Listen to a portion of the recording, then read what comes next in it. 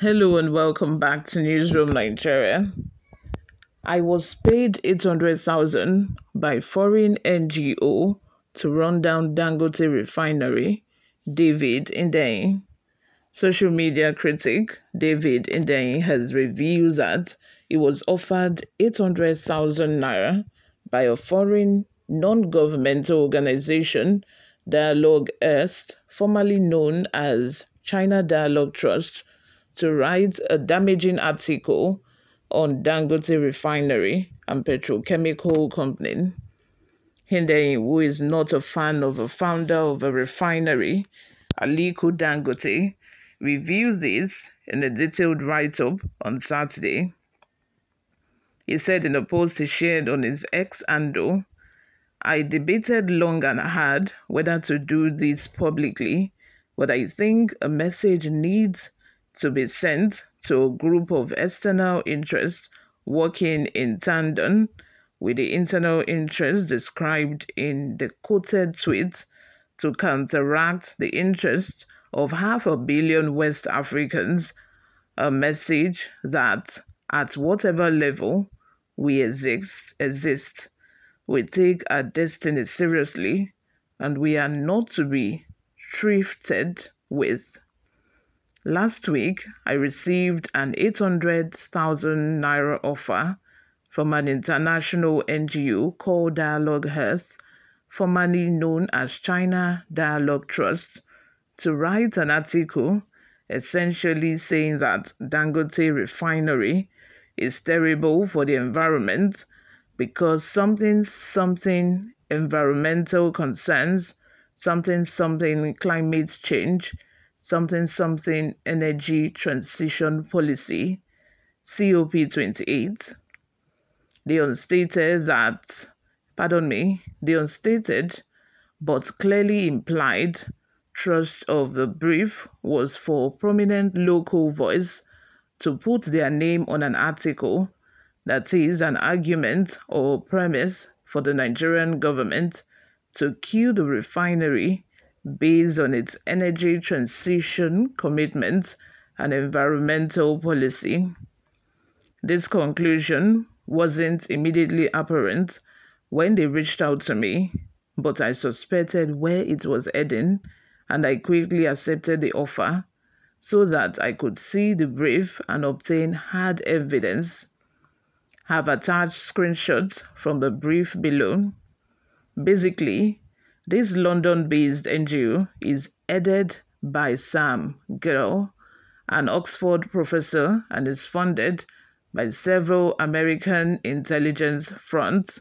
such as Ford Foundation and Climate Works,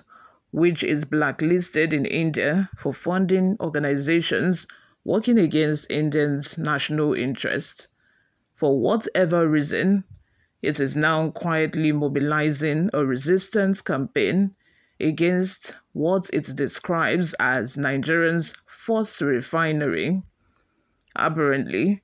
the status quo of Africa's largest oil producer having no functioning oil refinery is beneficial having pardon me having no functioning oil refinery to beneficiate its own oil was not a problem for Dialogue Earth and the American CIA front who funded the human poverty caused by exporting these raw material and importing refined fuel was not bad for the environment. Also, the fact of European refiners regularly blending West African fuel cargoes with toxic waste and sulfur content 200 times the European legal limit, leading to asthma, bronchitis, and eye infections in West Africa, was also not bad for the environment. But Nigeria having a refinery that will learn West Africa off import dependency on those European refiners and allow West Africa control the sulfur content of its own fuels is where Dialogue Earth and its founders draw the line. That one is bad for the environment, and David Hundeyin should write an article calling for the refinery to be shut down or limited. I'm putting these out there publicly so that nobody will henceforth use the term conspiracy theory when it is pointed out for the obtained time that there are American and European states and private interests that are heavily invested in keeping Africa exactly as poor as it is, and that they regularly push levers most of us do not even know exist to make sure that this status quo is protected. These people believe Africans should not exist or have nice things in this world. Apparently, the sole purpose of our existence is to enhance their experience of a planet and all that it has to offer. It is because of them that I have to make a public spectacle out of this,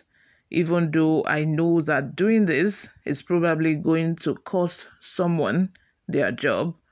The message needs to be passed that, as poor as we are, you cannot convince us to campaign for the elongation of our own poverty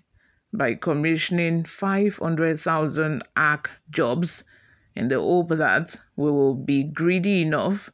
to only see the money and ignore the bigger picture of what we can clearly see you trying to do. I will reiterate something, and I have said multiple times I am not a believer in the religious faith called climate change or saving the environment.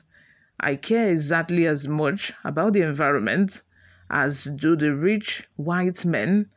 who destroyed it to begin with. I firmly believe that if what it takes for Africa to, de- to industrialize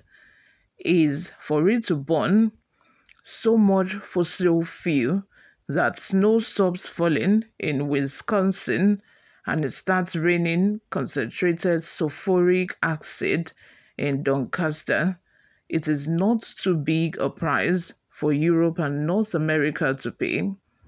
It is certainly not bigger than the price Amer- Africa had to pay for Europe and North America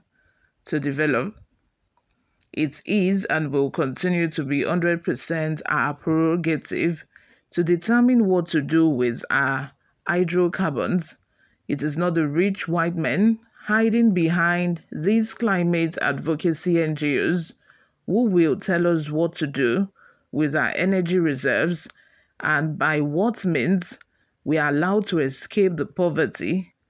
that they engineered for us. I might not be a fan of Aliko Dangote or his monopolistic business practices,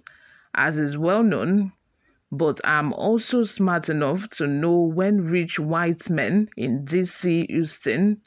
Rotterdam, and London